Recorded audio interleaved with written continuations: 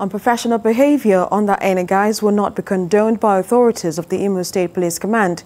This were other words of the State Commissioner of Police Abutu Yaro to his officers and men of his command while activating a special security outfit of the command codenamed Operation Search and Flush to further check insecurity in the state. The commissioner urged his personnel to work within the rule of engagement and avoid any act that will be inimical to the image of the police in the state. I want you to disconnect yourself from your old negative patrol mannerisms. And you know those negative patrol mannerisms I'm talking about. Extorting money from motorists, hostility to members of the traveling public, improper and intemperate use of.